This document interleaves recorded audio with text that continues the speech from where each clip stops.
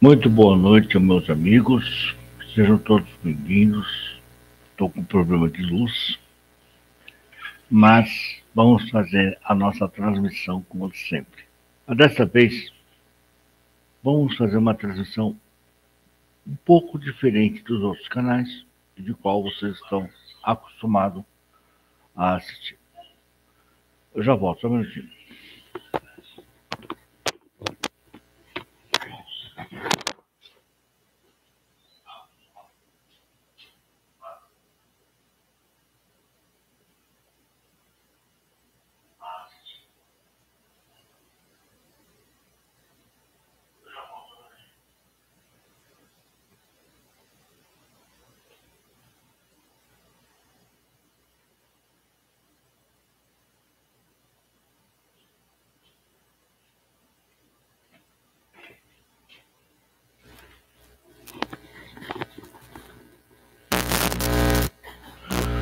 Pronto, aqui estou eu. Vamos lá. Se der tudo certo, vamos fazer uma transmissão. São 21 horas e 33 minutos, no dia 7 de junho de 2022. Está chovendo aqui na cidade de Guarulhos. Mas está gostoso. Está muito frio aqui, mas está gostoso. Bom, qual o objetivo desse hangout? Apesar que a imagem está escura, mas eu creio que dá para assistir ainda. O objetivo desse hangout é mostrar para vocês a questão da missologia bíblica e a questão da fé, da sua fé cristã. Não importa a sua denominação, seja você católico, seja você protestante, seja você pentecostal, neopentecostal, ou nenhuma dessas religiões. Bom, o fato é que a nossa sociedade brasileira está um caos. Vocês devem acompanhar aí algumas reportagens minhas do blog e deve, vou tentar fazer um, clareamento possível, né? Fazer o possível dos impossíveis. Vocês devem estar acompanhando as matérias minhas e devem também estar perguntando o que está acontecendo no mundo, o que está acontecendo no Brasil. Claro, nós temos aqui, no ponto de vista prático, de reeleger Jair Messias Bolsonaro como presidente do Brasil. Isso é fato. E todos sabem que eu apoio muito o presidente da República. E por que, que eu apoio? Porque a sociedade brasileira precisa entender, de vez por todas, que nós não podemos colocar a esquerda no poder. Ah, mas você não pode falar disso. Posso sim, é um direito meu e está na Constituição. Só que também eu não posso, aqui neste meu canal, ou nas minhas simples reportagens, meter o cacete no STF. Eu não posso fazer isso. Eu tenho que respeitar as decisões dos ministros do Supremo Tribunal Federal. Mas posso criticá-lo, porque as decisões monocráticas muitas vezes atrapalham, como agora. Por exemplo, foi derrubada a decisão do ministro Nunes pela segunda turma colegiada do STF. Eles entenderam que o deputado federal agiu de maneira estranha e equívoca. Depois eu vou entrar nessa parte e vou explicar por quê. Mas antes, vamos pedir a Deus uma pequena meditação. Amado Pai Celestial, em nome de Jesus, viemos na tua presença, Senhor, para que Senhor possa nos conduzir Abençoa nossos ministros do STF, abençoa nosso presidente da República, Senhor, guarda de todo mal e nos guarda também, em nome de Jesus. Nós te pedimos que perdão nossos pecados. Amém. Não tem interesse aqui trazer uma, uma liturgia, não é esse o meu interesse. Mas eu preciso trazer algo da palavra de Deus e fazer uma, um link de ligação com o Supremo Tribunal Federal. Muitas pessoas não entendem isso. E muitas delas também não aceitam isso. Não mistura religião com política. Errado. Não mistura é, ideologias. Errado. Eu não posso misturar aqui o que a esquerda defende, como se fosse a linha teológica sistemática. Não dá, não tem cabimento nisso. Então vamos ter sempre atentos sobre isso, porque nós temos que valorizar a família, em primeiro lugar. Valorizando a família, você vai estar valorizando a sociedade onde você mora, os seus parentes, seus amigos, seus vizinhos. E se você valoriza a família e a sua sociedade, você está valorizando o Brasil. Esses são os links principais. Então, eu vejo assim: família, Deus e Brasil. Porque, de uma outra forma, é um pouco diferente, mas é o mesmo sentido. É Deus, pátria e família. É o mesmo sentido, não tem muita diferença. Só que nós temos, como cristão, colocar Deus em primeiro lugar. Isso que eu quero falar para você. Colocar em primeiro lugar Deus. Em segundo lugar, a nação brasileira. E em terceiro lugar, a família. Seria correto isso? Na, na sistematologia, sim. Mas no conceito popular brasileiro que nós temos, primeiro vem quem? Vem a família. Porque se você não alicerçar a sua família, você não vai ter o quê? Uma nação. E se você não tem uma nação, você também não vai ter Deus, amor ao próximo. Então, a lógica é o quê? Família, nação e Deus. Sendo que Deus está no primeiro plano da vida humana, isto é, da nossa simples vida. Então, vamos falar o que, que a Bíblia tem a ver com a sociedade? Não é teocracia que eu estou aplicando aqui, mas é uma realidade que já acontecia há anos.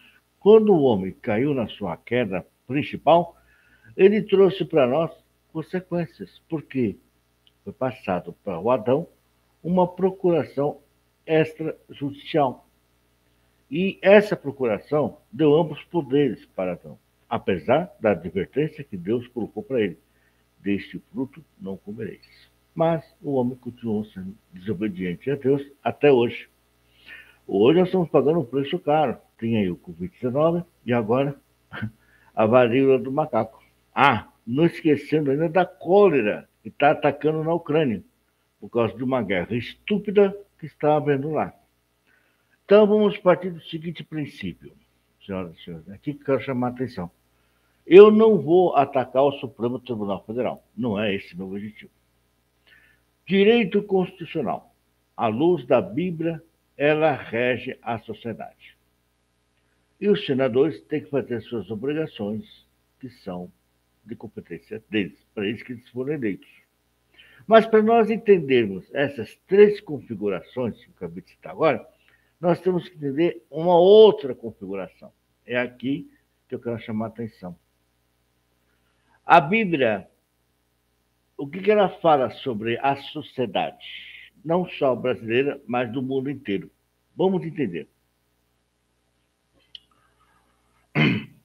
Assim como os temperos fazem com que a comida saiba melhor, devem ser os cristãos temperados, o mundo para Deus. A Bíblia diz em Mateus, capítulo 5, versículo 13 e 14: Vós sois o sal da terra, mas se o sal se tornar insípido ou insípido, com que se há de restaurar o sabor? Então, o sal numa comida, no arroz, no feijão ou em qualquer outro macarrão, ele dá gosto não é verdade? É nesse sentido, nós somos temperos, nós somos o sal da terra. E sendo sal da terra, para nada mais presta, senão para ser lançado fora e ser pisado pelos homens. Isso é, vós sois a luz do mundo. Não se pode esconder uma cidade situada sobre um monte.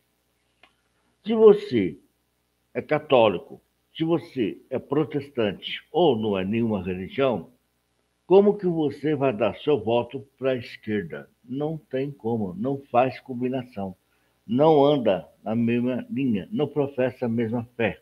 É isso que eu chamar vocês. Jesus desafiou as normas da sociedade.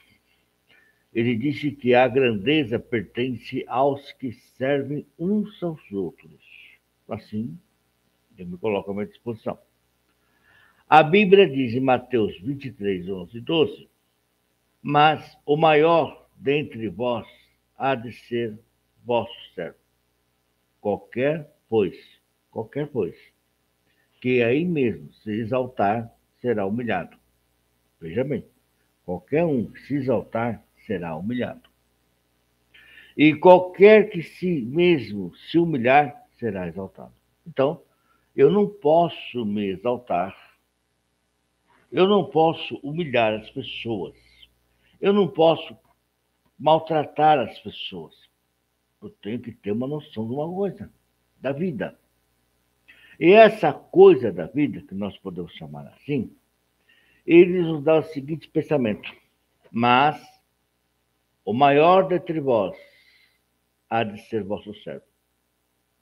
Então, quando você recebe um título ou um cargo ou você recebe é, nomeações para ser ministro do Supremo Tribunal Federal, você não pode ter a grandeza de exaltação própria. Porque você passa a ser a pessoa menos avisada na face da terra e mais criticada na sociedade. Então, presta bem atenção nesse contexto. Qualquer, pois, que a si mesmo se exaltar, será humilhado. E qualquer que a si mesmo se humilhar, será exaltado. Ah, Renato, mas os ministros do STF não têm entendimento da palavra de Deus. Eles têm sim. Eles conhecem a palavra de Deus, não da forma como os cristãos conhecem, pela fé em Cristo Jesus. Não. Mas eles têm conhecimento, tanto que eles fazem juramento perante a palavra de Deus. Jesus avisou, avisou-nos que não sigamos a sociedade, porque a sociedade ela se exalta a si própria. A sociedade ela cresce a si própria. E é o papel fundamental da sociedade para isso. E por quê? O que ela tem? Ela tem concupiscência da carne, ela ama o mundo, se viu aí recentemente, a partir de dezembro de 2021 até agora, o que, que o mundo escolheu? Não foi? A pandemia não acabou. Mas as pessoas escolheram a mentira, as fake news, as lascívias do poder, e a lista é grande. A concupiscência, a soberba da vida. Infelizmente, querendo ou não os ministros do Supremo Tribunal Federal, há uma certa soberba. E isso, senhores, é muito mais agravante do que os senhores possam pensar.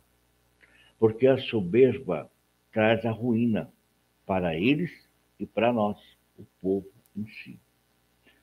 Vamos entender o seguinte: as, uh, eles não se associam com o Jair Messias Bolsonaro. Isso está claro. Eles se associam com a esquerda. Isso também está claro. Não adianta negar. Mas isso não dá o direito de nós criticá-los. Se você quer fazer algo pelo Supremo Tribunal Federal, tenha saída. Você pode orar por eles, orar por eles, mesmo que eles não aceitem a oração. Não tem problema. Mas faça a sua parte, porque nós somos temperados no mundo. Nós somos cristãos. E cristão não se associa com a esquerda. De maneira nenhuma. Não existe pastor esquerdista, porque se existir, ele tem que ser expulso da igreja. Ele tem que se converter. O pastor não pode bater no peito dizendo para a igreja que ele é autoridade máxima. Ele é eclesiástica, não autoridade a nível social. Aí não. Aí ele está se propagando uma falsa evangelização. E não é isso que Deus quer das pessoas. Muito bem. Essa concupiscência da carne, ou concupiscência dos olhos, a soberba da vida, não vem de Deus, mas sim do mundo. Ora, o mundo passa e as suas concupiscências também. Mas aquele que faz a vontade de Deus permanece para sempre. Essa é uma promessa de Deus para todos nós. Então, vamos agora no que, que eu estava falando. Muito bem. Direito constitucional. Lá no meu blog, eu coloquei assim: direito constitucional à luz da Bíblia. Por quê? A Bíblia rege a sociedade, acabei de citar agora. Mas os homens de corações duros, eles não aceitam a Bíblia. Eles nem querem saber disso.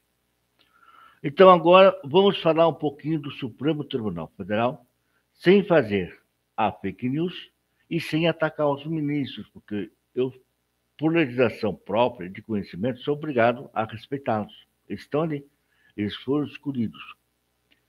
Eles foram escolhidos democraticamente pelos presidentes da República que nós elegemos no ano passado. Pelo ex-presidente Lula, a ex-presidente Dilma Rousseff, Jair Messias Bolsonaro e tantos outros anteriores. Mas por onde que isso começa, Renato? Por onde que isso se alastra? Lá dos tempos dos militares. Não é desde agora. Então, para você criticar o Supremo Tribunal Federal sem fazer fake news, você tem que conhecer a história do, do Supremo Tribunal Federal. Você tem que entender quais são as decisões que os ministros estão tomando e para que, que elas servem. Então, vamos lá. Eu citei no texto nove ministros do STF.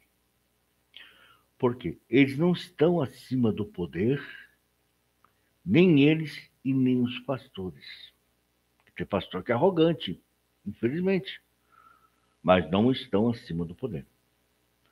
Podemos fazer sim autocríticas quando a sua atuação monocrática, que não serve para nada, mas dentro das quatro linhas da Constituição. Depois explico o que é isso.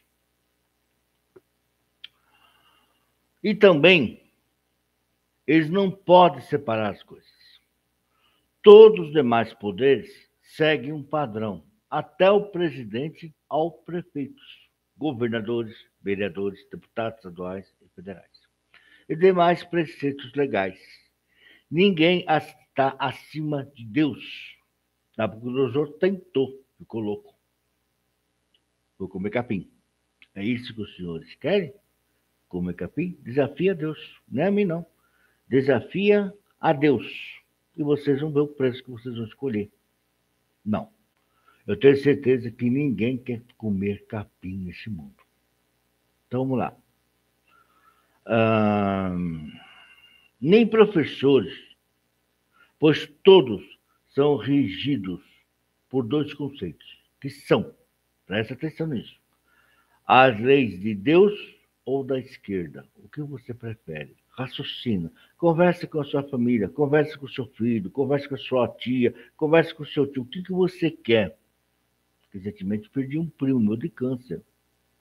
Claro que eu fiquei magoado, fiquei chocado, fiquei triste, porque eu fiquei sabendo por um canal do YouTube. Vou citar o nome aqui, eu não posso. Mas é por ali que eu fiquei sabendo. Então, é, o que, que vocês querem? Porque a esquerda, ela é associada aos ditadores. Vocês viram na Venezuela que aconteceu. E ainda está acontecendo. Você viu recentemente agora na Ucrânia o que está acontecendo. Ainda está acontecendo. A cidade que eles invadiram só trouxeram desgraça. Em nenhum momento Vladimir Putin trouxe benefício para a Ucrânia. A Ucrânia está completamente abandonada pelos líderes mundiais. Isso é fato. Então vamos lá. Esses conceitos existem. É a escolha sua, prezado cidadão, prezado cidadão. Eu não estou aqui falando sobre placas denominacionais e nem sobre religião. Estou falando de Deus. Não tem nada a ver com isso.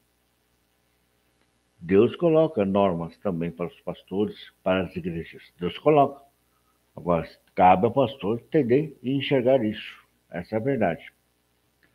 Ditadores, pensamos bem nessas eleições de 2022. O que queremos desses conceitos? Nessa linha de pensamento, temos ainda as diretrizes da obediência para seguir aqui, que chama atenção. Se a escolha for errada, todos poderemos comer capim. Prefiro obedecer a Deus e me curvar a Deus do que aos homens. Eu tenho certeza que você prefere isso. Se você ama a sua família, você ama a sua família, você prefere isso também. Mas não é só isso. Vamos lá. Muitos brasileiros nem conhecem a história da sua Corte Suprema.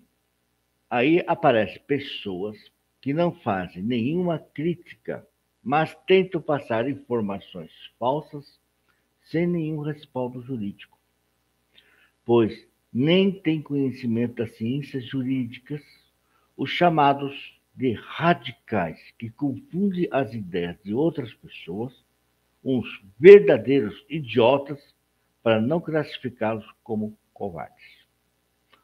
Muito bem, aí eu consultando o site do próprio Supremo Tribunal Federal, ele me aparece da seguinte maneira, quer ver? Eu não vou poder compartilhar com vocês, mas eles põem aqui, ó. Confira os últimos desmentidos de notícias falsas feitos pelo STF. Verificação de informações suspeitas antes de compartilhamento evita a propagação de fake news. Isso é verdade. Hashtag verdades do STF. É claro que o STF tem sua verdade. Isso é fato. Vamos lá? Para alertar sobre a importância da verificação de informações suspeitas, a fim de evitar propagação de fake news, o Supremo Tribunal Federal lançou a série hashtag Verdades do STF, entre parênteses. E uma delas, eu verificando aqui, apareceu o seguinte, eu vou ter que citar. Por exemplo, é... vamos lá. Um blog inventa frases e muda contexto da fala do ministro Gilmar Mendes, perdão, no dia 24 de abril de 2022. Eu vou citar só esse exemplo para vocês terem razão e não me criticar depois. Por exemplo, vamos lá. Qual é o blog? Não é o meu. Mas é um blog é, quase que fixo na internet e esse blog ele não é licenciado pelo Google. Já, já sei disso. Tá? Porque se fosse, não estaria no ar. Vamos lá. O STF alerta dessa importância. Vamos lá.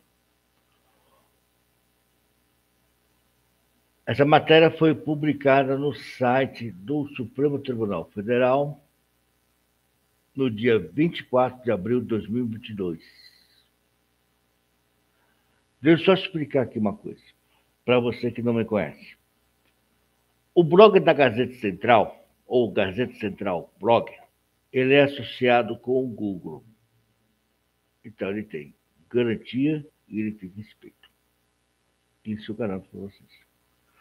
Mas o diálogo com Victoria Bacon não tem.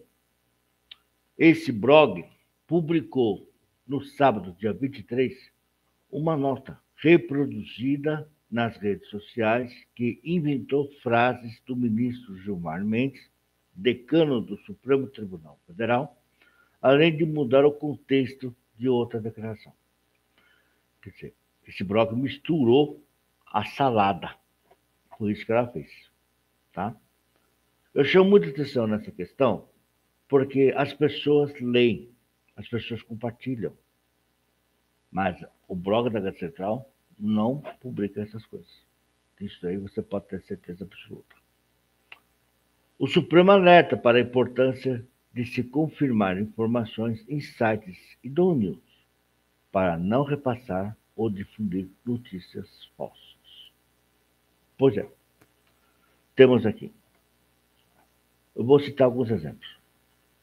Eu não gosto da atuação do ministro Gilmar Mendes Mas isso não me dá o direito de inventar notícias falsas sobre ele. Espera aí, ele é um decano. Ok? Eu não gosto do, do, do ministro Dias Toffoli, mas isso não me dá o direito de criticar ou inventar notícias falsas sobre o ministro Dias Toffoli ou qualquer outro ministro. Vamos aos fatos. No texto difundido nas redes sociais, o blog publicou um parágrafo completamente falso com uma declaração jamais dada pelo ministro. Em entrevista à Folha e ao UOL. Olha só o que eles fizeram. O ministro do STF, Gilmar Mendes, que é o mais antigo entre os componentes da Suprema Corte, disse a jornalistas que Bolsonaro armou uma cilada contra a democracia brasileira e que usou a graça do o, o indulto do deputado Daniel Silveira para provocar uma ruptura institucional que poderá ter efeitos catastróficos em um possível golpe. Temos que nos unir. O STF deve ser o guardião da Constituição e barrar a decisão do Bolsonaro. Nós, os ministros, temos de proteger o Brasil. Foi isso que estava publicado na Folha e no UOL. Segundo o blog. Vamos lá. A íntegra da entrevista concedida à jornalista Daniela Pinheiro, colunista do UOL, está bem claro que o ministro falou com o veículo antes do decreto presidencial que concedeu graça ao deputado Daniel Silveira. Antes desse decreto. Mas o blog adiantou. Agora, como é que esse blog teve dessa vitória, Baicão, acesso a essa informação adiantada? Alguém passou. Se alguém passou, não passou o conteúdo completo. Bom, eu não vou clicar. Eu, vou, vou, tentar ler aqui o que o ministro Gilmar Mendes falou para a Folha de São Paulo e o UOL. Os dois estão citados nesse processo. Vamos lá, se meu computador abrir, né? Porque eu já troquei de rede de computador, da placa de rede aqui, da internet, mas não consegui. Não consigo trabalhar, não consigo compartilhar essa porcaria desse vídeo. Isso que eu fico chateado. Mas enfim, é a internet que a gente paga, né? Uma porcaria. Então, né? Repórteres da Rua, em busca da realidade. Daniela Pinheiro. O ministro colocou assim: essa é a matéria verdadeira. Não vai ter golpe, diz Gilmar, Gilmar Mendes, ministro do STF. Essa é íntegra, eu vou ler para vocês. Ó. Eu vou pedir licença para Daniela Pinheiro, mas eu preciso citar isso, Daniela. Desculpa. Esta é a parte da versão online da edição de sexta-feira, 22, da Nelson Litter de Daniela Pinheiro, para assinar o boletim e ter acesso ao conteúdo completo. Bem, por aí vai. Vamos lá.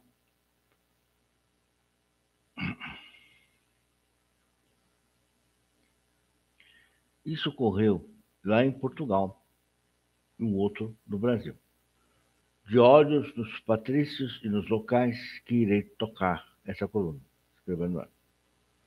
Muito bem. Aí, olha aqui. Não vai ter golpe, diz Gilmar Mendes. Era quase hora do almoço quando o ministro Gilmar Mendes, do Supremo Tribunal Federal, chegou à varanda do café em frente a uma praça florida do bairro do Príncipe Real, em Lisboa. Ele veio caminhando desde o seu apartamento, não distante dali, com a nonchalance de quem franava pela ah, vizinhança. Vestia calça jeans, camiseta listrada e um blazer azul. Calçava tênis cinza e carregava uma mochila preta presa nas costas por apenas uma, duas alças. Um cidadão comum, normal. Aqui é a característica que Daniel escreve.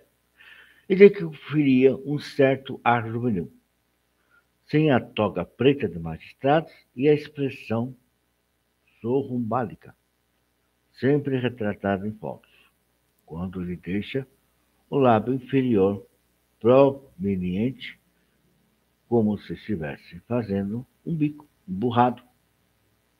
Ele aparenta menos idade.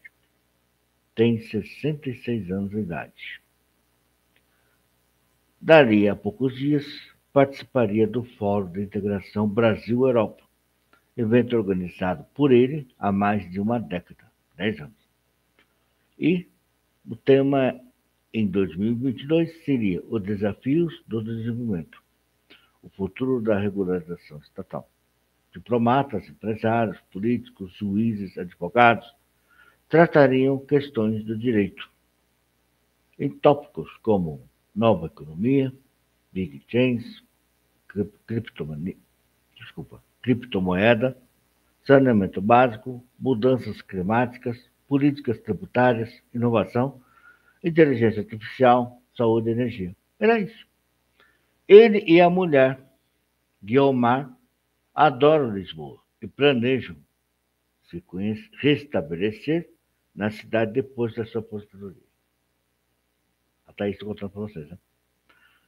Só que estou lendo o blog da, da, da, jornalista Daniela Pinheiro. Excelente artigo. Contou que, diferentemente de Brasília, aqui dorme melhor. Vai à academia todas as manhãs, come mais em casa do que em restaurantes, que lá é muito caro, dispensa salamalanquetes do poder, já teve de se valer de segurança do TS, do STF em viagens quando era hostilizado na rua é, devido às decisões polêmicas. Pediu ao garçom, usando um vocabulário local, pastel de bacalhau. Muito gostoso, já comi.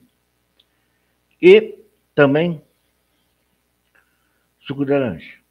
Bom, aí vai a conversa, a matéria toda, a matéria, a matéria da Daniela Pinheiro está no próprio site do STF, por isso que eu abri aqui. Ela fez a pergunta. As instituições estão corrompidas? Ela fez a pergunta. Não, respondeu Dilma Mendes. O problema, o problema da corrupção, o problema da criminalização da política é esse. A política perdeu espaço. Ninguém imaginava que isso ocorreu. Presta bem atenção que eu estou falando para vocês. Que se ia chegar a uma eleição em que os atores principais seriam de fora. A eleição de 2018, segundo Gilmar Mendes, foi isso. Não foi só eleger Bolsonaro, foi eleger os PMs, os coronéis, os pastores evangélicos. Um novo perfil conservador populista. E um novo paradigma. E, obviamente, a Operação Lava Jato teve um papel enorme nesse contexto. Então, ele nunca desclassificou a Operação Lava Jato.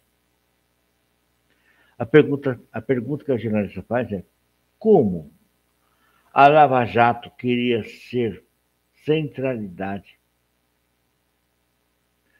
e trazer novos elementos para a política. No início, já se viam sinais de que seus protagonistas queriam entrar no processo político. E é verdade. Não é verdade, senhoras e senhores? É. Está aí o Sérgio Moro, que brigou entre Bolsonaro e segundo o que consta, já vou passar para vocês, Sérgio Moro pode apoiar Jair Messias Bolsonaro. Tem sentido o que o Mendes está falando. Não tem? Tem, você pode participar do meu link e me procurar. Aí ele fala sobre as 10 medidas contra a corrupção, aquilo que já era uma pré-programa eleitoral. Já era. Já é fato. E por aí vai. Se ela me autorizar, eu publico o artigo dela. Quando fala eles refere-se a Moro, da Longuenor, a Força-Tarefa de Curitiba?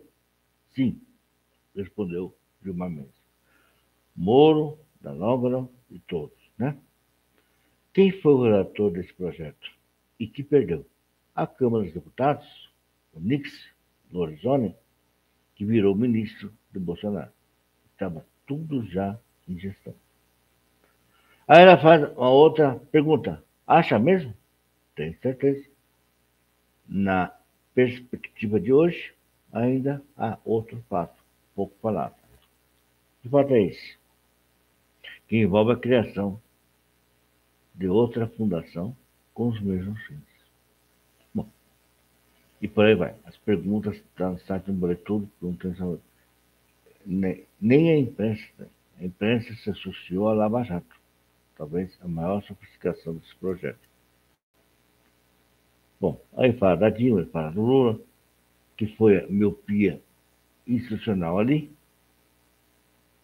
Em algum momento, o governo Dilma decidiu criar uma marca forte. Me defende. Bom, então, não compartilhem fake news, pessoal. Isso é muito grave, muito feio para nós, brasileiros. Mas vamos lá voltar a falar do STF. Então, diz, muitos brasileiros nem conhecem a história da sua Corte Suprema. Aí aparecem pessoas que não fazem nenhuma, aliás, que não fazem nenhuma crítica construtiva, mas tentam passar informações falsas sem nenhum respaldo jurídico. A obrigação de todo jornalista é não concordar com as decisões monocráticas, ok? E criticá-los também dentro das quatro linhas da Constituição. E aos ministros da Corte não tomar decisões provocadas pela esquerda. A esquerda que provoca, a direita não. Então vamos à sua biografia. Agora vamos falar da biografia do Supremo Tribunal Federal é a mais alta instância do Poder Judiciário brasileiro. Acumula tantas competências típicas de uma Suprema Corte, ou seja, um tribunal de última instância, como as de um tribunal constitucional.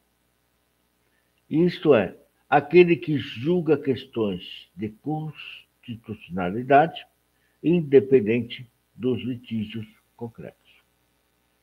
Vou repetir, essa matéria está no meu blog, tá? Sua função institucional fundamentada é de servir como guardião da Constituição Federal de 88, apreciando casos que envolvam lesões ou ameaça às suas provisões. Das suas decisões não cabe recurso a nenhum outro tribunal. E um caso pitoresco que entrou aqui foi esse caso aqui, ó. Vamos aos fatos. É... Deixa eu ver se eu acho aqui. Não acho. Deixa eu ver. Puxa, tá aqui.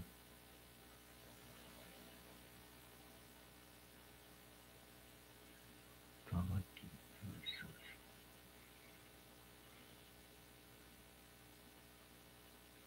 Bom, eu não vou achar o que estou querendo mostrar para vocês. Ela nem mostrar posso. Né?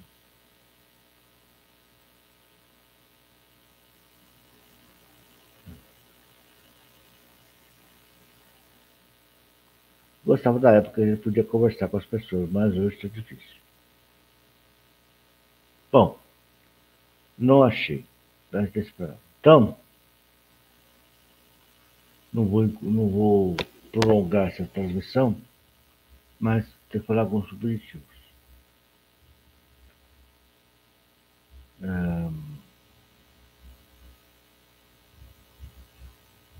criada após a independência do Brasil como Supremo Tribunal de Justiça e renomeado como Supremo Tribunal Federal após a programação da República, o STF exerce uma longa série de competências entre as quais as mais conhecidas e relevantes é o controle concentrado de constitucionalidade, por meio das ações diretas de inconstitucionalidade.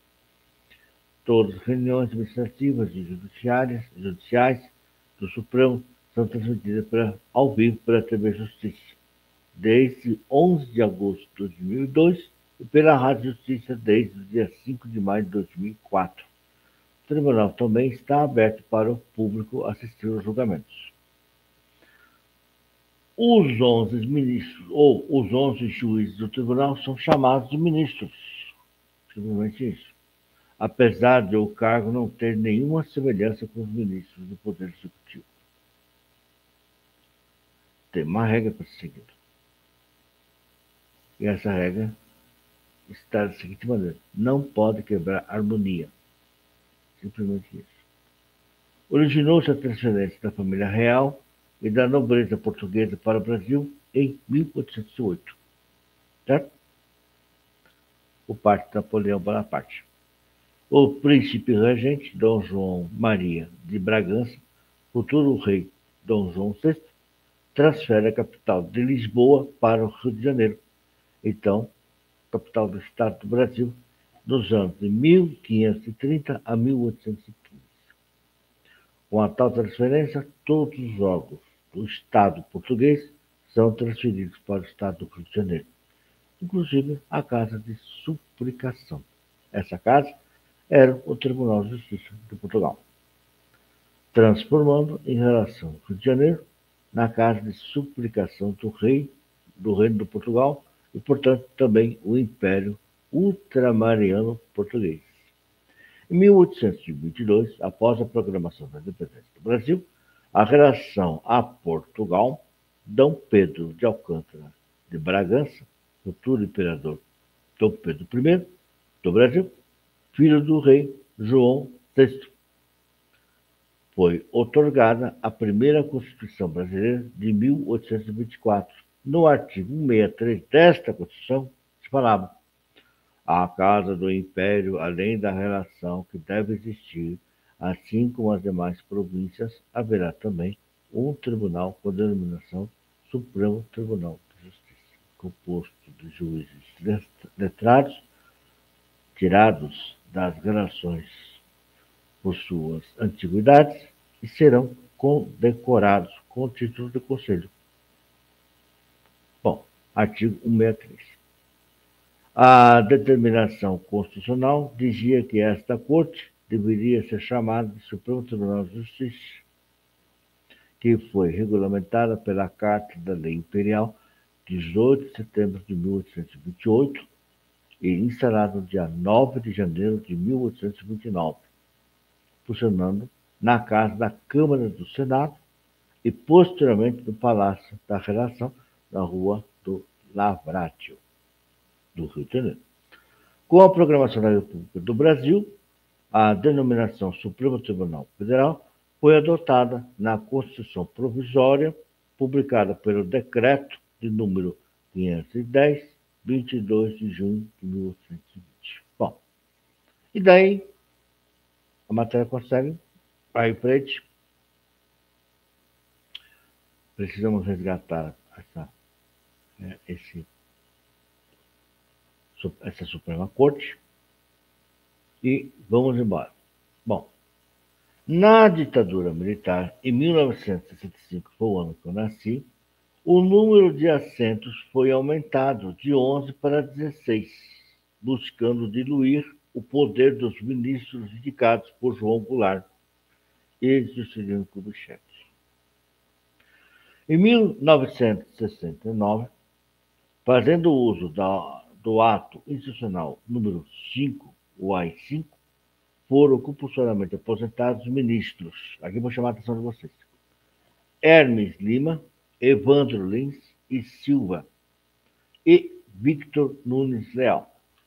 Em solidariedade aos colegas afastados, o ministro Antônio Gonçalves de Oliveira renunciou ao cargo. Nesse mesmo ano, o ministro Lafayette de Andrada solicitou sua aposentadoria em protesto às medidas de exceção do governo militar. Com a saída desses cinco ministros, Médici retornou ao tribunal ao tamanho original. Ali continuaram Adalto Lúcio Cardoso e Aleomar Baleiro. Meses depois, foi nomeado o ministro Bilac Pinto, deputado que havia introduzido no vocabulário civil o conceito da guerra revolucionária. Então tem uma história por trás disso. Não é assim. A história do STF começa aqui, talvez, um erro. O primeiro erro do STF. Qual foi? Em 1998, ao se referir sobre o caso da Olga Benário Prestes, o então presidente do Supremo da Tavênia, Celso de Mello, declarou que a extradição, a extradição fora um erro. O STF cometeu erros, sim, e esse foi um deles, porque permitiu a entrega de uma pessoa em regime totalitário como nazista, uma mulher que estava grávida. Celso do Mello, isso. Isso consta nos autos do STF. Ministro da Davênia, os senhores sabem muito bem desse erro. Não podemos aceitar outros erros. As decisões monocráticas, sem passar pelo plenário virtual ou pessoalmente, não pode continuar, senhores. Porque nós estamos caindo no esgoto do bolivarianismo. O mesmo que aconteceu na Suprema Corte da Venezuela. Essa é a preocupação nossa. Essa é a preocupação da direita. A pergunta que eu faço aos senhores ministros: qual garantia que os senhores vão dar para nós, da direita, que isso não vai ocorrer no Brasil? Qual a garantia? Fica essa pergunta. Não é minha intenção aqui de provocar discussões, mas eu preciso de uma resposta positiva. Em 2003, com a postura do ministro Moreira Alves, que foi indicado pelo presidente Ernesto Geisel. Isso aqui foi um erro que foi cometido do regime militar. Não foi a Dilma, não foi o Lula, não é o Bolsonaro, nem tampouco Fernando Henrique Cardoso.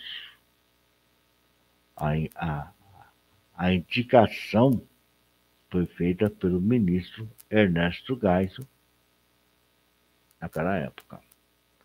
O tribunal passou a ter uma composição inteiramente formada por ministros indicados por presidente do período democrático. Esse foi outro erro que deveria receber votos. E quem poderia votar no ministro do STF? Advogados inscritos na OAB, juízes das instâncias inferiores, ministérios públicos, estudantes de direito de primeiro semestre ao quinto semestre, entre outros, que façam suas campanhas eleitorais e usem as urnas eletrônicas.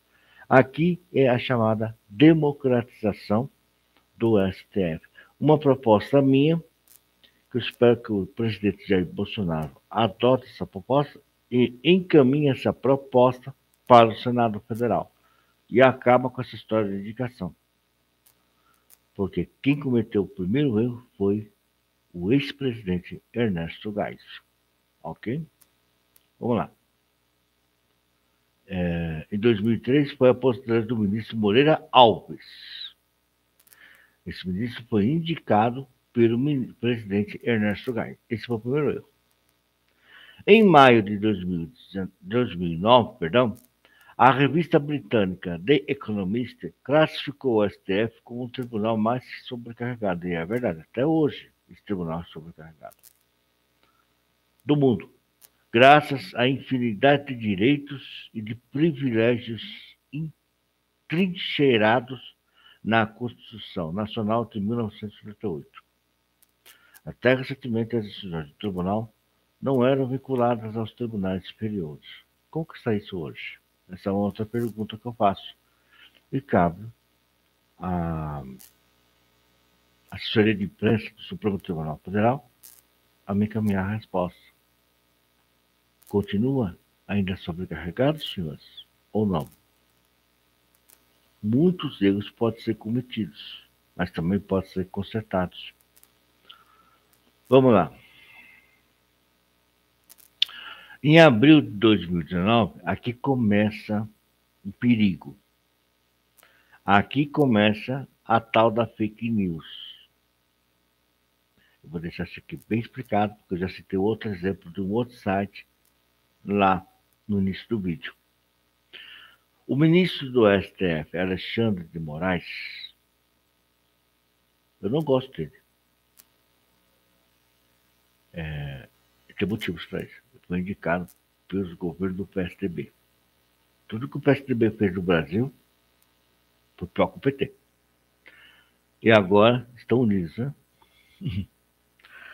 Determinou que a revista e o site do antagonista retirasse do ar reportagens que faziam menção ao presidente da corte, Dias Toffoli. O que, que tinha nessa reportagem? Vocês lembram? Isso em 2019.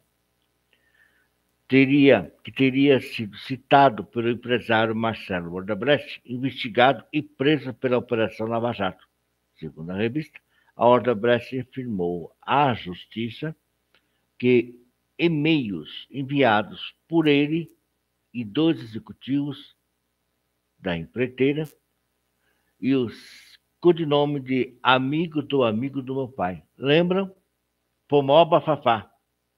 A direita, que não estuda direitos e nem sabe o que é uma jurisprudência, espalhou pelas redes sociais a primeira fake news, mas pelo site antagonista é o que eu falo.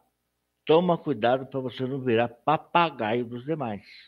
Porque se você vira papagaio, você perde credibilidade. E muitos fizeram isso. Inclusive agora. Eu queria provar para vocês o que eu estou falando. Mostrar para vocês. Bom, isso foi um bafafá que criou-se. Se referia a top na época das mensagens, ministros da Advocacia Geral da União. Lembram? Lá em 2019.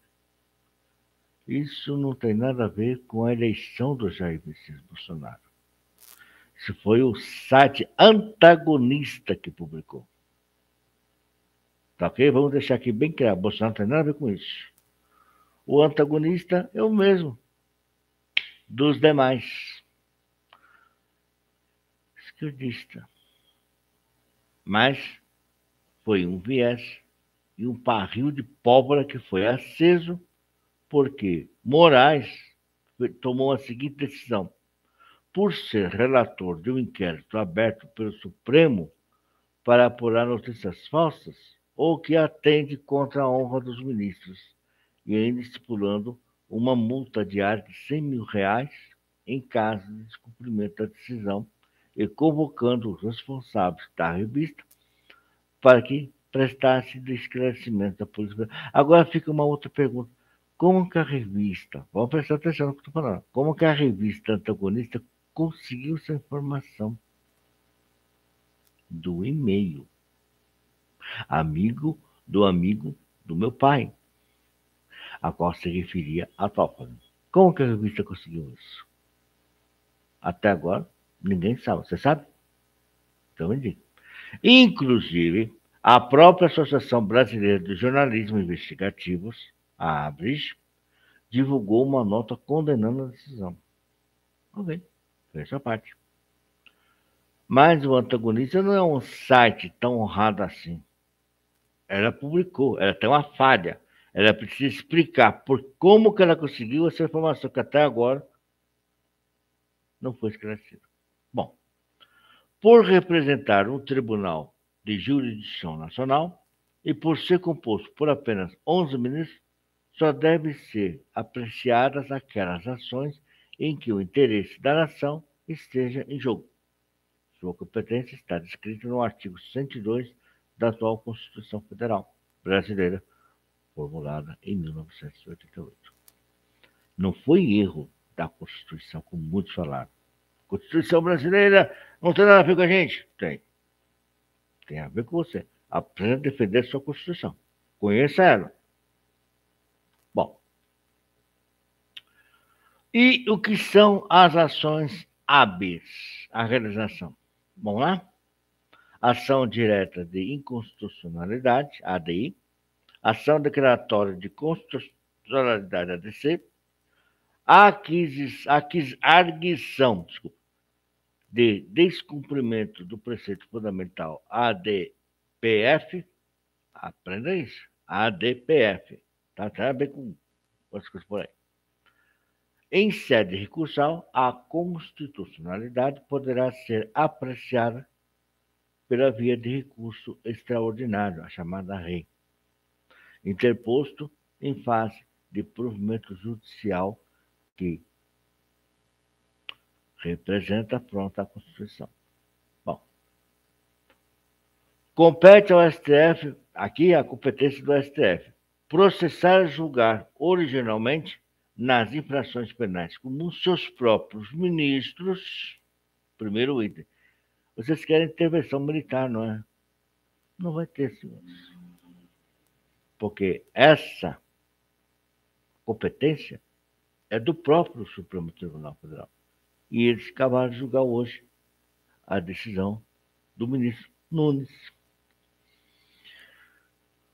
O presidente da República o vice-presidente, os membros do Congresso Nacional, tem um deputado que já foi condenado, agora há pouco, e o Procurador-Geral da República, nas infrações penais comuns e nos crimes de responsabilidade, os ministros do Estado, os comandantes do Exército, Marinha e Aeronáutica, ressalvado no disposto do artigo 52, inciso 1. Os membros, desculpem, os membros dos tribunais superiores e do Tribunal de Contas da União, além do chefe de, da missão de, de, diplomática de caráter permanente. Constituição Federal, artigo 10. Eu vou te fazer uma pergunta. Quem é o nosso embaixador que nos representa na ONU? Você sabe o nome? Escreva no chat. Ou você é das que não conhece a política brasileira? Aí fica difícil. O Regimento Interno do Supremo Tribunal Federal do Brasil, a RISTF, R-I-S-T-F, é o documento oficial que rege com égide na Constituição os trâmites e funcionamento administrativo da Corte, a maior do Poder Judiciário do Brasil. Os membros da Corte, referidos como ministro do Supremo Tribunal Federal, continua aquele mesmo erro lá que Ernesto Geisel fez. Não foi mudado nada.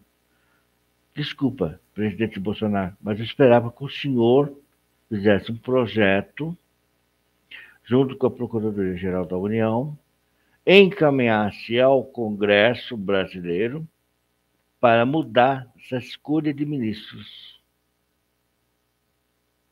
Deveria ser por eleição indireta ou direta, tanto faz. Mas deveria ser democrático. E esse, essa escolha não é democrática lá da época do Ernesto Geisel. O senhor deve lembrar disso, senhor presidente da República. Então, faça isso. Tá bom? Faça isso. Faça a escolha por voto. Eu já citei alguns principados que poderiam participar. O salário bruto de cada ministro, desde o início de 2019, é a mais alta do poder público, R$ 39.200, além do escalamento de subsídios. Em caso de crimes comuns, infrações penais comuns, os ministros são julgados pelos próprios colegas do tribunal. Compete ao Senado Federal do Brasil processá-los e julgá-los por crime de responsabilidade quando o crime está correlacionado ao exercício da sua função. Até hoje, não há. Entretanto, caso em que o Senado brasileiro tenha processado o ministro do STF por crime de responsabilidade. Por dois motivos. Aqui entra a população. Você fala assim: todo o poder emana do povo. Aí vocês elegem uns imbecis como senadores. E nós temos lotados o, o Senado, aqui vai minha crítica ao Senado Federal. São um bando de imbecis despreparados, não conhecem leis, nunca estudaram direito, Tem um senador lá que fez um muro entre o Brasil e os Estados Unidos. Isso é absurdo. Nem, nem a geografia do país o desgraçado conhece. Quem que eu vou culpar nessa história toda? A você que votou naqueles laranjas, naquelas bizarros na natureza. Esses tipos de senadores e deputados federais têm que ser exterminados da vida política, porque eles só atrapalham. Vamos lá. Aí, vamos entrar agora na questão do, do Tribunal Superior Eleitoral. Os ministros do STF ainda indicam seis advogados notáveis de saber jurídico e idoneidade moral para que o presidente da República nomeie dois como ministro do TSE. Mas peraí, Renato, mas quem nomeou o ministro do TSE foi o Bolsonaro? Não, ele já foi indicado pela presidente Dilma Rousseff e pelo Lula. Então você tem que saber votar, meu povo. Você tem que ter consciência do que é uma votação. Votação não é você acordar cedo para cumprir sua obrigação lá na urna eletrônica, não. Você tem que saber a idoneidade dele. É a mesma regra que se segue para o Supremo Tribunal Federal, para uma pessoa ser ministro do STF. Mesma regra. É que vocês me perdoem, mas vocês não leem. Não é falta de oportunidade de explicar isso para vocês, não. Eu estou aqui para explicar.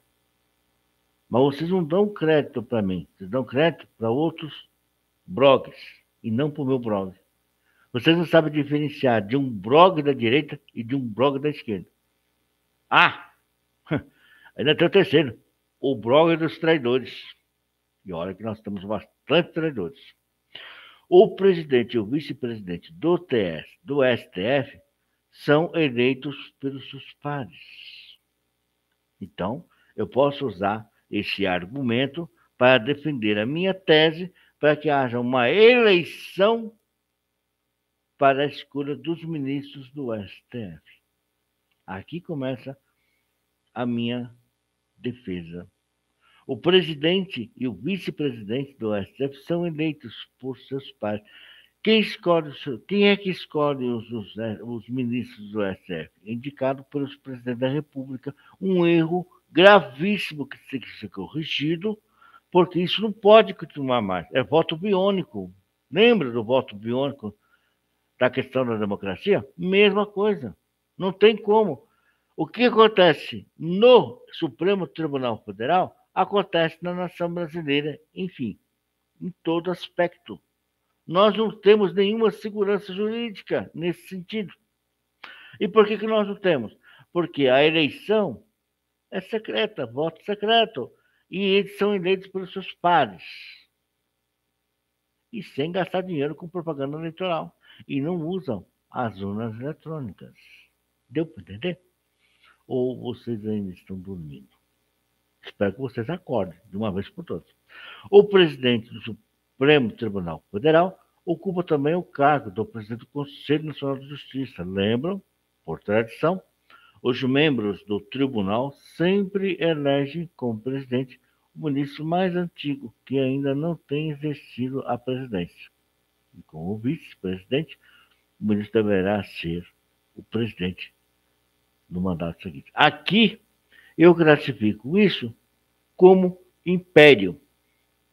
O STF virou aqui império. Primeiro, quem escolhe os ministros? O presidente da República um erro que foi gerado pelo ex-presidente Ernesto Geisel. Segundo, quem vota para ser o presidente e o vice-presidente da STF? Os próprios pares. Votação secreta. Nem isso é transmitido pelas emissoras de TV. Terceiro, o mandato é de dois anos. Isso é fato. A reeleição de um mandato consecutivo não é permitida. Mas estão tentando, por debaixo dos panos. Depois, aqui vai minha crítica. Tá? O presidente do Supremo Tribunal Federal ocupa também o cargo do presidente do Conselho Nacional de Justiça. E assim vai. Então, senhoras e senhores, para você ter uma democracia verdadeira no país, tem que começar pelo STF. Porque se não começar pelo STF, nós vamos ter essa briga. Essa briga de poderes entre o presidente da República e o presidente do STF. Os dois querem governar o país. Não cabe governar dois, dois governantes para um país só. Aqui que eu falo que é a República Bolivariana. Porque na República Bolivariana, como na Venezuela, por exemplo, foi feito isso. Aí, Nicolás Maduro colocou o pessoal dele lá, que está rachando, mas colocou, e escravizaram a Venezuela por muitos anos até hoje, desde 2014. É aqui que eu chamo a atenção. Ah, mas você está criticando. Não, não estou criticando. Estou mostrando para vocês como que é feita as escolhas dos presidentes do STF. E isso o próprio STF sabe disso. Bom, o presidente do STF é o quarto da linha sucessão da presidência da República. Lembra? É. Sendo precedido pelo vice-presidente da República, pelo presidente da Câmara dos Deputados e pelo presidente do Senado Federal. Uma pergunta. Desses três que eu citei, quem assumiu a presidência da, da República quando o Bolsonaro viajou? Ah, foi o vice. Quem é o vice-presidente da República? General Mourão. Então aqui está tudo errado. Aqui tem que ser por eleição e não indicação. O presidente Jair Messias tem que corrigir isso rápido e bem mais rápido do que ele pensa, se ele quiser ter sossego para governar o país. Caso contrário, seu presidente, lamento informá-lo, mas só vai ter bolivarianos aí dentro do STF. Lamento informá-lo. Pode, ele não pode ser um bolivariano propriamente dito, mas através das atitudes. Bom, aí vai a lista completa. Né? Tem condições de mudar o STF? Tem, se for necessário. Caso contrário, vai bater martelo e não vai mudar nada. Porque esses ministros não têm nenhuma vocação para a democracia. Claro, não estou aqui generalizando todos, não é isso, pelo amor de Deus. Mas fica uma pessoa errada lá, como fica. Né? Bom, as fontes estão na minha matéria do blog. Tá? É isso. Então, senhoras e senhores, só para finalizar aqui um pouquinho, ah, já tinha finalizado, deixa eu acertar a matéria aqui que eu publiquei, e voltar lá na página do STF.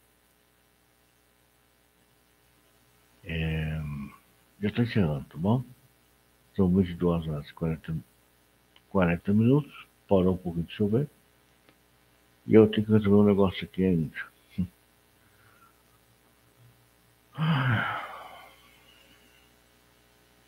Então, em resumo, se você quer ver um país verdadeiramente democrático, tem que agir dessa maneira.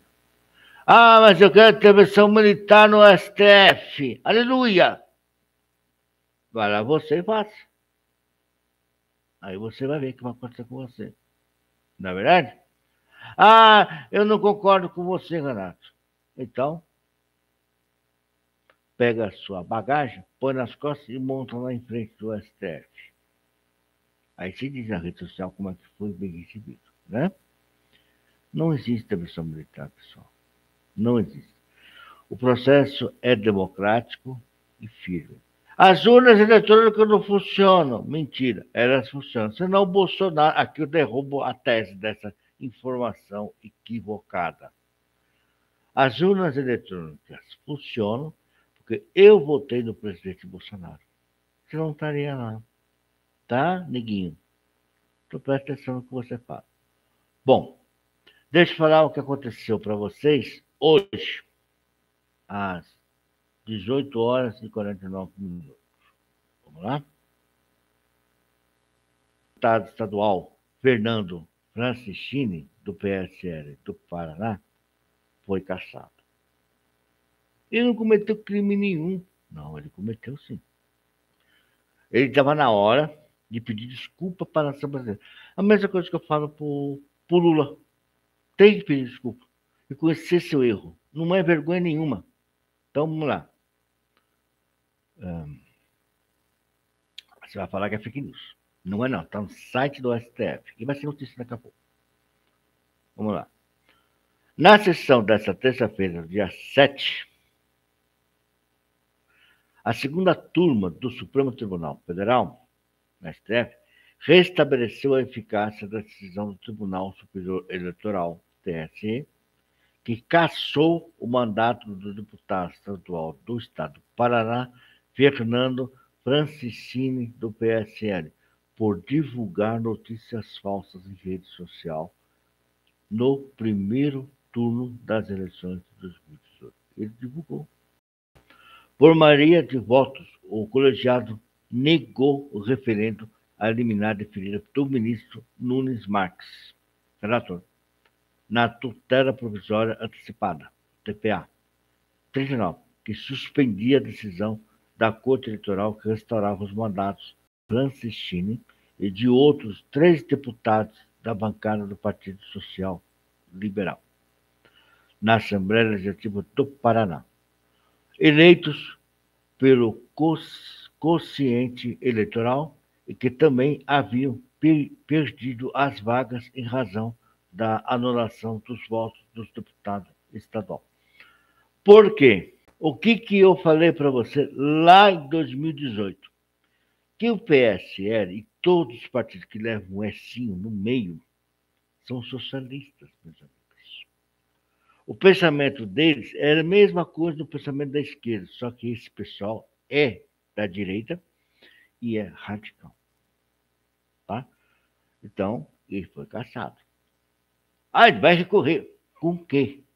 Ele vai recorrer com o quê? Ele já tem duas saídas: ao diabo, a Deus ou a renúncia. Ele se baseou em quê? Em que, que ele se baseou? em promover notícias falsas. E não é só ele, não. Tem mais gente.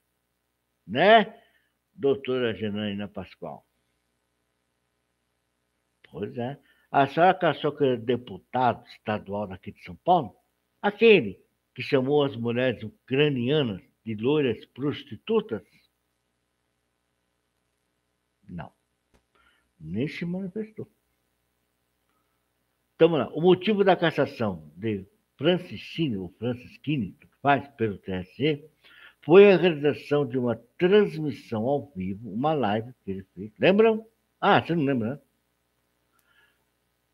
Por meio de uma rede social Facebook, no dia do primeiro turno das eleições de 2018, com a divulgação de notícias falsas sobre o sistema eletrônico de votação e promovida propaganda pessoal e partidária. Para o TSE, a transmissão configurou abuso de poder político em benefício da sua candidatura. E muita gente clicou no link dele. Não foi? Porque acreditaram nele.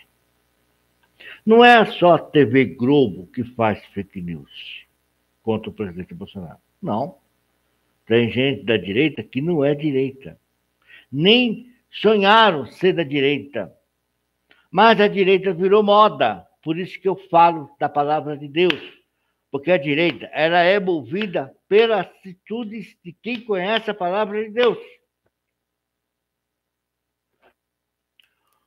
No julgamento de hoje, o ministro Nunes Marques reafirmou os fundamentos da liminar do que o TSE teria adotado nova interpretação da matéria e por analogia com a eficácia retroativa, passada a considerar nas redes sociais como meio de comunicação. Muito bem. para efeito de configuração de abuso. No entendimento da regulamentação do tema, se deu após as eleições de 2018, com a publicação da resolução 23.610-2018. E a norma que regulamentou o preto de 2018, a resolução 23.551-2017 do TSE. Vocês vão lá na página do, do, do Tribunal Superior Eleitoral e conferem, tá? Não vedava essa conduta. O ministro André Mendonça acompanhou o relatório. Vocês meteram, teve pessoas que meteram o pau no André Mendonça. Naquele outro julgamento. Não lembrado, depois eu falo dele. André Mendonça, para seu governo, ele é um cristão, é um pastor da igreja presbiteriana do Brasil. E os pastores das igrejas presbiterianas do Brasil, em suas lives da rede social, faz a mesma merda que, as outras, que esse fez. É. Chegaram até me xingar por eu defender o ministro André Mendonça. Lembra da votação do André Mendonça? Pois é, me xingaram. Pastores das igrejas me xingaram. Outro me chamou de bestilode. Bestilação. Não, não. Viu? Bestilode é tu. Eu respeitei o ministro André Mendonça, sendo membro da mesma casa que o senhor também é. Então, eu iria respeitar o ministro André Mendonça. Muito bem. Alegações implausíveis. Implausíveis. Ao abrir a divergência que predominou o julgamento, o ministro Edson Fachin considerou a decisão do, ST, do TSE correta e adequada à ordem jurídica. Aí vocês vão meter o pau do Edson Fachin. Vai. Pode ser ter decisão. Vou meter o pau. Vocês não conhecem. Você aí, o cara otário, você não, não conhece a decisão. Você não leu. Eu detesto quando uma pessoa publica uma coisa na rede social e ele não faz como tem que ser feito na íntegra. Nem interpretar o desgraçado sabe. Então, você que não estudou direito, ou que estudou e não prestou atenção nas provas, não sabe o que é hermenêutica jurídica, você não sabe. Não fala nada, não. Caladinhos. Fiquem caladinhos. Porque o Francisco cometeu erro, sim. Eu quero ver ele provar o contrário. Bateu no peito, né, deputado? Que vergonha. Aliás, não sei o que está acontecendo com o pessoal lá do Paraná. Tinha até uma boa influência, mas de repente, de 2009 para cá, o estado do Paraná decaiu bastante. Pegamos o Sérgio Moro aí, que é o traidor. Agora está querendo colar-se, né, Sérgio Moro? Na cola do Bolsonaro, né? pois é. Não vai captar muita coisa, não, viu? Já estou avisando. Nós não temos lugar para traidores. E aí, Sérgio Moro? Quero fazer uma pergunta para o senhor. Respeito o senhor como juiz. Mas como político, minha nota para o senhor é zero. Porque o senhor também foi nas fake news. Essa é a questão. Por isso que o ex-presidente Lula está dando gargalhada. Mas ele vai ser preso logo também. Posso, pode acreditar nisso. Porque o STF, ao contrário de, de alguns que falam aí, não eliminou os processos do Lula. Ele só transferiu. Pessoal, vamos aprender uma coisa: direito é um mundo desconhecido para todos. Mas ele transferiu o poder para um outro tribunal que ainda nem julgou o que está neles lá. Bom, deixa o Lula de lado. Não interessa para nós. Coitada, está doente mesmo. Então, aqui, e a liberdade de expressão são implausíveis. E, deixa eu não perder nada aqui, senão vai ficar meio esquisito. Peraí, vou ler de novo, tá? Ao abrir a divergência que predominou o julgamento, do julgamento, o ministro Edson Fachin considerou a decisão do TSE correta e adequada à ordem jurídica.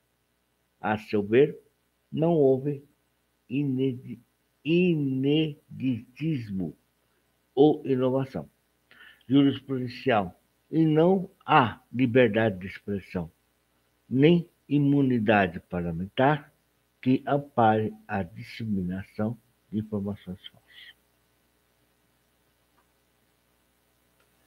Isso serve para o José Disseu, para o Lula, próprio presidente Bolsonaro, Carla Zambelli, Bia Kiss, serve para mim e serve para os jornalistas dos, do Meta. Cuidado. Estou de olho vocês. Eu estou de olho vocês. Deixa eu conseguir recuperar minha tela que vocês vão ver só. Então, ainda, não ainda na avaliação do ministro, as alegações da violação de segurança jurídica e a liberdade de expressão são plausíveis. Então, ao acompanhar a divergência do ministro Gilmar Mendes, citou precedentes que o TSE expressamente assentou que o uso indevido de meios de comunicação social abrange a internet. Para Mendes, a imposição de sanção e perca de mandato de quem tenta minar a credibilidade das urnas eletrônicas no dia das eleições. Ainda durante o processo de votação e antes da apuração dos resultados, é de extrema gravidade esse se volta contra o mais caro em uma democracia, o pacto social de confiança. O resultado das eleições. O ministro Ricardo Vadalski acompanhou a divergência. Bom, aonde eu quero chegar nisso? Nós estamos em 2022. A urna eletrônica brasileira continua sendo o pivô das eleições presidenciais, senadores, deputados federais, deputados estaduais, por aí vai. Vou fazer uma pergunta para você. Todo mundo aqui desse canal ou de outros já foram nas zonas eleitorais, não foram? Defeitos de urnas é uma coisa. Agora, acusá-las de fraude eleitoral, você tem que ter prova judicial para isso. E vocês não têm. Primeiro, é proibido o uso do celular. As regras são bem claras. Proibido o uso do celular. Segundo,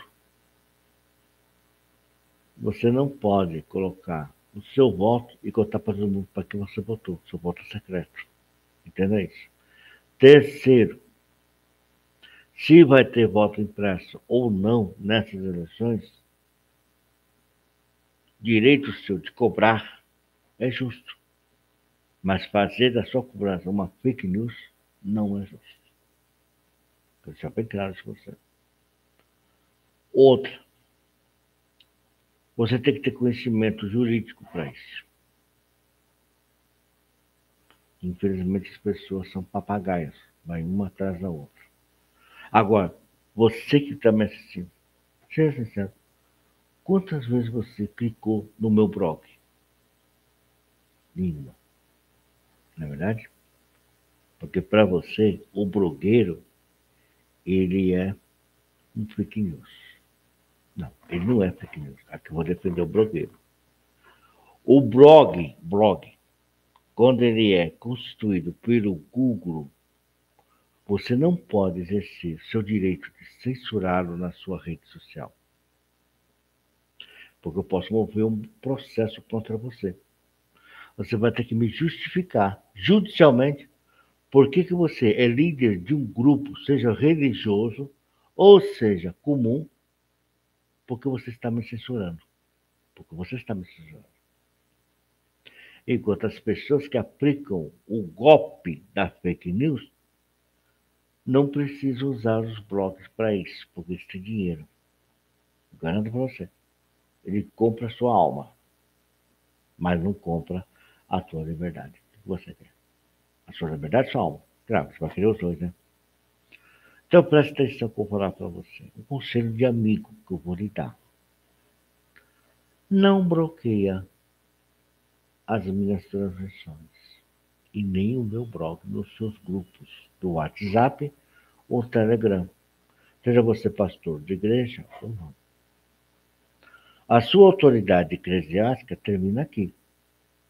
Porque na hora que houver um processo contra você, não vai ter advogado nenhum que vai defender você. Olha bem isso. Eu não faço fake news. Deixa bem claro isso. Mas quem faz fake news são essas pessoas que te adoram, te bajulam pela frente. Eu não gosto de bajuladores e eu não sou puxa-saco de pastor nenhum. Eu exerço o meu cargo de diácono porque fui eleito. Mas se eu quiser entregar meu cargo, eu entrego. Eu não tenho obrigação nenhuma com as igrejas, e elas nem comigo. Eu exerço o meu direito livre de exercer a minha fé. Mas a partir do momento que a igreja começa a me censurar, ou qualquer grupo do WhatsApp começa a me censurar, quem vai sair perdendo é você que é administrador. Simplesmente isso, tá? Tá avisado. Não provoca-me. Porque a minha paciência é um pavio bem curto. Deixar bem claro isso. No Instagram, no Meta, Twitter, o blog Gazeta Central, ele está associado com o Google. Só quero avisar para vocês isso. Sou diferente dos outros. E não sou jornalista da Rede Globo Televisão, não. Alienados com a esquerda. Nem de esquerda eu gosto. Guarda bem isso, se eu descobrir que o pastor da minha igreja é um esquerdista, eu mesmo vou trabalhar para tirar ele da igreja. O lugar de esquerda não é ser pastor de igreja de uma. Deixar avisado isso. Se eu descobrir que o pastor da minha igreja é um esquerdista, é melhor ele renunciar. Porque eu tenho certeza que o sínodo da igreja conservadora não vai admitir isso. Porque se tiver esquerdista também no sínodo da igreja, quem sai da igreja sou eu. Ainda publico uma carta da saída da, da minha igreja. Eu sou bem verdadeiro nesses assuntos. Eu levo muito a sério a questão da palavra de Deus. Eu não sou perfeito, não. Mas não abusem da minha paciência. Já estou dando um recado, porque quando estourar a bomba, o pessoal está sabendo o que é. Recentemente estava no canal, não vou citar o nome, de uma igreja. Comecei a fazer certos comentários que o moderador me bloqueou. Quando eu voltei, eu escrevi para ele. Se você me bloquear de novo, eu vou processar você. Porque está impedindo o exercício legal da informação. Eu não sou jornalista da esquerda. Deixa bem claro isso. Tanto que eu não sou associado com sindicato nenhum. Nenhum. Porque eu não preciso do sindicato. São eles que precisam de nós. Vamos pensar nisso. É o sindicato que precisa de nós. Eu não preciso do sindicato. Tá bom? Então não brinque comigo, não. Não me faça de otário. Se você não gosta de mim, problema é seu. Tô nem aí.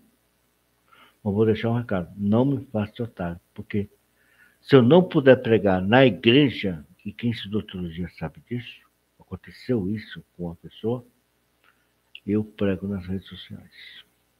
Não tenho nada a perder com isso. Mas você tem. Então guarda bem esse recado para você. Gosto das pessoas. Gosto, gosto de conversar, gosto de dialogar. Sou carismático, mas não pisa na minha unha cravada. Se ela doer, você vai ter a resposta. Bom.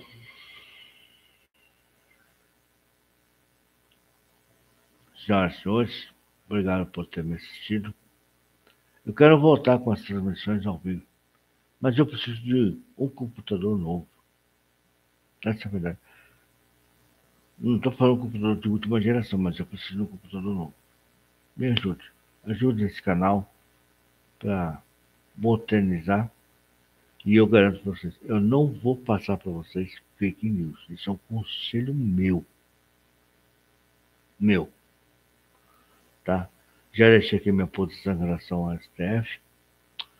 Vou fazer uma live falando sobre a questão do ICMS, a arrogância dos governadores, e vou falar também da nova onda do Covid-19 que está aí, e por que, que as pessoas pegaram essa doença venérea, a doença do macaco? Por quê? Alguma coisa errada aí, né? E você que é homossexual ou LGTB, cuida da sua saúde. O resto a gente se vira. Mas cuida da sua saúde. Cuidado. Um recado que eu vou dar para vocês. Cuidado. Essa doença está detonando na Europa, além do Covid-19. E eu tenho a questão da Ucrânia, que eu preciso conversar com vocês também sobre a Ucrânia. Tá? A Ucrânia, o negócio está feio lá, e eu avisei. O que me admira muito é que brasileiros estão defendendo a Rússia. Não, não é por aí. Eu não vou defender a Rússia nem aqui nem na China. Eu não me curvo diante aos homens. Vocês não conheceram isso. Ah, eu sei que minha tata escreveu, eu vou comprar uma, uma luminária, vou pôr aqui, vou ter que transformar esse computador no supercomputador, porque tem muita coisa que eu não consigo ainda trabalhar. E eu vou pedir para o canal do YouTube, não bloqueiam o meu canal. Eu garanto para vocês, eu não vou passar fake news. Pode ter certeza disso, tá bom? Então são 23 horas e 4 minutos, como sempre, demora um pouco mesmo, mas agradeço muito do coração a vocês. Ah, sim, eu peguei Covid-19. Primeira e segunda dose de vacina também. E tô aqui. Cuidado com as fake news. Boa noite.